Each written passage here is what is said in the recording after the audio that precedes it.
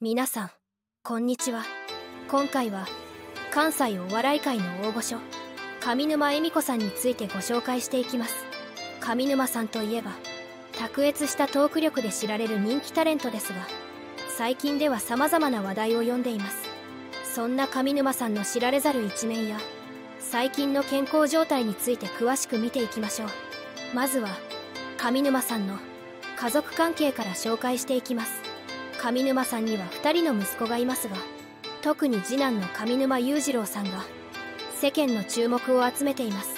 裕次郎さんは1983年5月生まれで現在40歳になります。幼少期から母親の仕事の忙しさもあり勉強面での指導が行き届かなかったそうです。そのため成績は芳しくなかったようで上沼さん本人から出来の悪いアホ息子と評されるほどでした。高校は大阪府の私立箕面学園に進学したという情報がありますが詳細は明らかではありません。大学に進学したものの途中で中退し就職活動を始めたそうです。しかし就職しても長続きせず様々な職を転々としたようです。幼年期の頃から苦労を重ねてきた次男の裕次郎さんに世間からは同情の声ではなく厳しい意見が多く見受けられました。問題児マザコンドラ息子などと言われたい放題。そんな裕次郎さんを心配した上沼さんは自身の番組「解決エミチャンネル」の構成作家として起用します。これには上沼さんの夫が関西テレビのディレクターだったこともありコネを使ったのではないかという噂も出ています。さらにお笑いタレントの島田紳介さんが裏で動いたのではないかという説もあります。裕次郎さんはユジェという名前で活動し約10年間番組に携わりました。しかしこの起用が後に大きな問題を引き起こすことになります。2022年上沼さんが人気 YouTuber カジサックことキングコング梶原裕太さんを番組内で長時間にわたって罵倒するという事件が起きました。それは解決エミチャンネルのある収録の時でした。カジサックさんが出演している回で上沼さんがこれまで何度もおごってきた自分に対しての義理を書いている。だから一度私にご馳走しなさいとカジサックさんに対していじりをします。ところが徐々にあんたこの番組に途中から来た子やんか。最初からブッキングされた出演者ちゃうやんと血相を変えてカジサックさんのことを批判します。そしてその後カジサックさんに対して1人10万円の高級料亭でスタッフ含め200万円分をおごれと詰め寄るおごられたら次の日病気になるからいいわと断る。カジサックさん抜きのスタッフ全員で食事会をしようと提案。カジサックさんがなんでこんなに嫌われたんやろと発言ほんまに怒ってんねんで。コロナでみんながイライラしてんね。バラエティーやから笑わそう思って。って思ってるやろ。ちゃうで。イラついてんね。ん君に。と返し。コロナが収束した頃にいなくなる芸人の代表として。カジサックさんを名指しするほどでした。最後の方で上沼さんがカジサックさんに対し「コロナうつだからごめんな。ほんまはちゃうね。ん」とフォローしたみたいですが時すでに遅し。カジサックさんは体調不良で上沼恵美子さんと共演する番組を2つ降板することになります。降板することになった際も上沼さんは梶原君は東京から大阪に移動するのがしんどくなったみたいと降板理由を言いますがカジサックさんは僕は東京から大阪に移動するのがしんどいなんて一言も言ってませんと真っ向から否定。降板の際にも一悶着があったのですね。この出来事の背景には裕次郎さんの存在がありました。裕次郎さんはカジサックさんのことを嫌っていたそうでコロナ禍で上沼さんが番組について悩んでいる時にカジサックさんの行動を批判的に告げ口したのです。自粛期間中に自分たちの番組には出ないで YouTube で活動しては大金を稼いでいてその連絡も一切ない。義理を書いていないか。と言ったそうです。これが上沼さんのカジサックさんに対する不満の導火線となりました。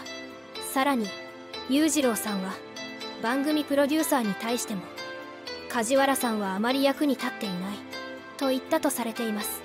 また気に入らない芸人に二度とお前は使わないとパワハラめいたメールを送ることもあったそうです。この一連の出来事が明るみに出たことで上沼さんと裕次郎さんは大炎上しました。結果として裕次郎さんは解決へみチャンネルの担当から外されることに。そしてこの騒動がきっかけで長年愛されてきた。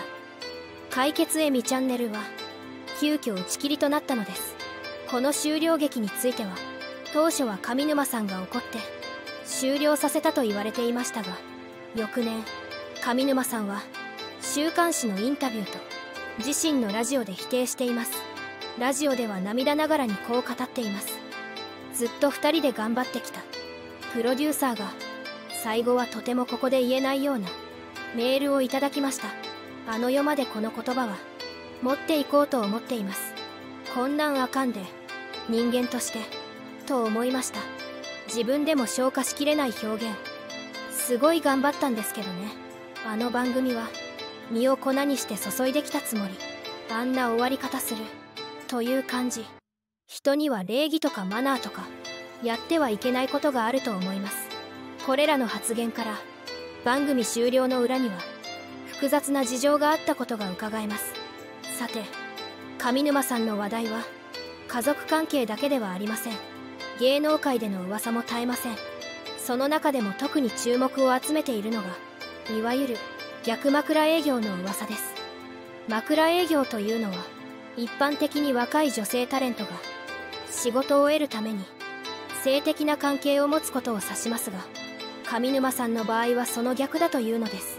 具体的には上沼さんが男性タレントに食事をおごりその後何かがあったのではないかという噂です。この噂の発端となったのはある芸能関係者の暴露発言でした。その人物は自身が男性タレントを上沼さんにアテンドしたことがあると語っています。上沼さんはイケメン好きなんでそれでやりました。はい。という発言が物議を醸しました。さらにこの人物は具体的な名前も挙げています。うちの事務所に岸田健作が至って言ったと思うんですけど彼を番組に出してもらうために健作に飯食ってこいってことを僕は言ってました。まあ上沼さんはそういうことをよくやりはるって言うのはよく聞いてたんで健作は多分2から3回は上沼さんと飯行ったんちゃうかなと語っています。岸田健作さんといえばかつて人気番組「笑っていいとも」の青年隊として活躍していたタレントです。この暴露に対して上沼さんや岸田さん本人からの反応は今のところありません。しかしこの噂が事実かどうかにかかわらず芸能界の闇の一端を垣間見せるものとして注目を集めています。ただしこれらの噂はあくまでも噂に過ぎず真偽は定かではありません。上沼さん自身もこれらの噂について直接言及したことはありません。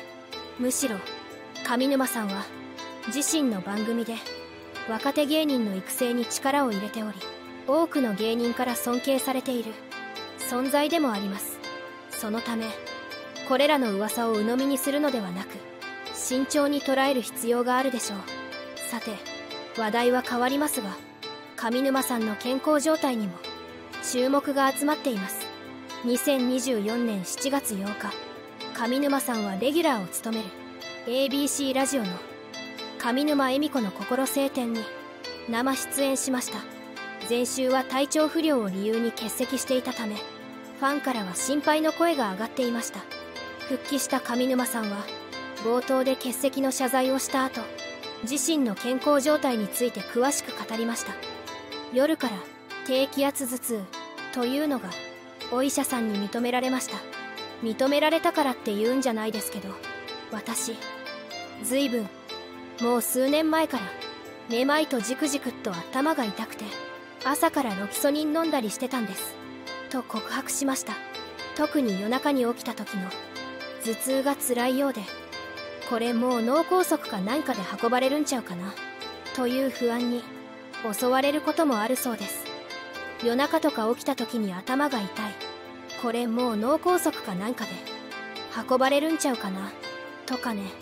夜中一人やからね。誰も家にいないしさ。豆柴犬だけやんか。とその不安な気持ちを吐露しました。上沼さんは続けて夜中の3時に頭痛いな思っておしっこに起きてそれで寝ようかなって思うんやけどやっぱり痛かったら寝られへんから薬を飲んでしまうっていう枕元に置いてしまうことあってと日常的な頭痛との戦いを明かしました。さらにとにかくこの年69歳になったらねある程度まで生きたから自由なんだけどみっともない死に方をすると申し訳ないと思ってと年齢を重ねるにつれて感じる不安も語っています。また上沼さんは自身が個人事務所であることも影響していると語っています。ただそれを条件に契約してるわけじゃないのでね。やはり体を先に見ないとね。守ってくれないし事務所ないから私一人自分で守らないかんのでね。と大手事務所に所属する。タレントとは異なり自身の健康管理に気を配らなければならない。事情を説明しました。これに対して同局の北村新平アナウンサーが個人なのは結構大きいかもしれないですね。と同調すると上沼さんは大きいんですよ。だから本当にすいませんでした。と再び謝罪しました。この一連の発言から上沼さんが自身の健康に細心の注意を払いながら仕事を続けている様子がうかがえます。69歳という年齢を考えると体調管理の難しさは想像に難くありません。それでも上沼さんは元気はつらつでございます。前向きな姿勢を崩していませんでした。心配の声が上がっていた中上沼さん本人がこのような説明をしたことでファンからは安心のコメントも見られました。上沼さんの家族関係や逆枕営業の噂カジサックさんとの確執や健康状態に関する話は以上になります。これからも上沼さんの活動に注目が集まります。最後までご視聴していただきありがとうございました。コメントを残してくれると嬉しいですチャンネル登録高評価もぜひお願いいたしますそれではまた。